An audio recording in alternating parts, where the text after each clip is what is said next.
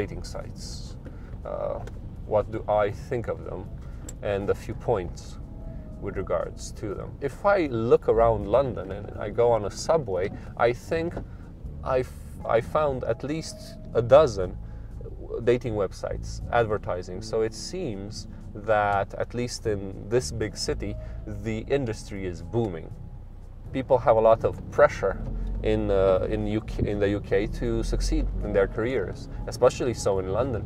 Uh, very little time, so building a relationship becomes a challenge. Why I think they have a lot of potential is because of the wideness of choice. I think it's quite limiting to search for a para person that is remarkably compatible with you. It's limiting yourself to friends of friends, to people you can met, meet at a bar or a club or however else you're allowed to meet people. Even if you do meet such a person who seems compatible with you, who seems attractive, um, there's plenty of questions you would not be allowed to ask because of taboos and politeness and just plain old creepiness. You're not, uh, you wouldn't think to ask until a lot later down in the relationship.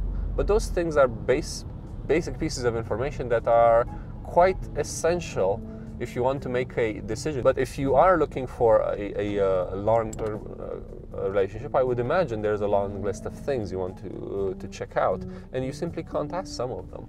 Uh, so please tell me, my dear um, potential partner, how many children uh, do you want? What is your opinion on finances? Uh, how about lifestyle? Uh, do you save a lot? Do you spend a lot? Mm, where would you like to live? In a big city or a, a, uh, small country chateau? What are your values? You know, the, the real values, the ones that you don't possibly would not speak about to, uh, to people. Um, how about your sexuality? Are you able to give and receive pleasure in a masterful way? Um, I would be very interested to know all of that, and if you could please just sign uh, on uh, the form, yes, then we can proceed dating. It doesn't work like that, does it? I met my fiance on eHarmony, uh, believe it or not, and uh, we are quite grateful that the site existed and that uh, we were able to um, to use it.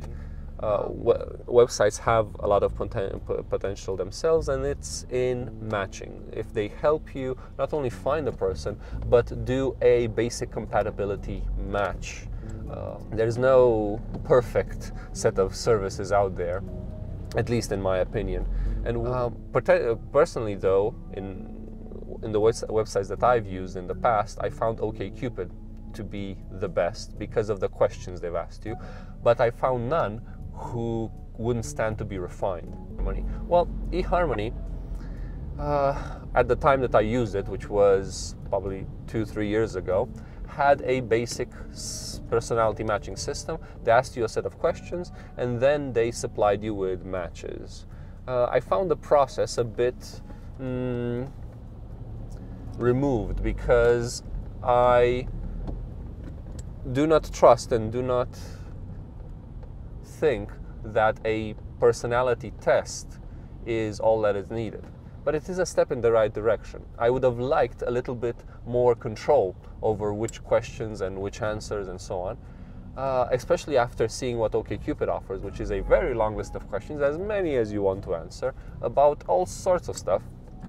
And you specify your answer, the importance that question has for you, and the answers you'll accept in a partner. Very good algorithm. Uh, do you smoke? Would you accept a smoker in your uh, relationship? Um, how about, I don't know, a person who is alcoholic? These sorts of things.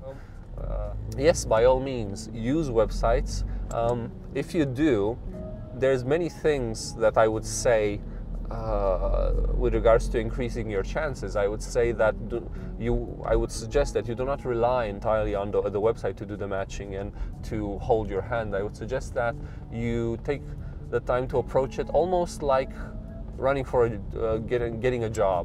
Um, build your profile up in a uh, smart, elegant, professional manner and know what you're doing, know what you want, know what traits you look for in a partner. Don't sell yourself short and uh, ask yourself the very important question that perhaps most people don't ask themselves. If I was to meet my dream partner, would I be the sort of person that my dream partner would adore?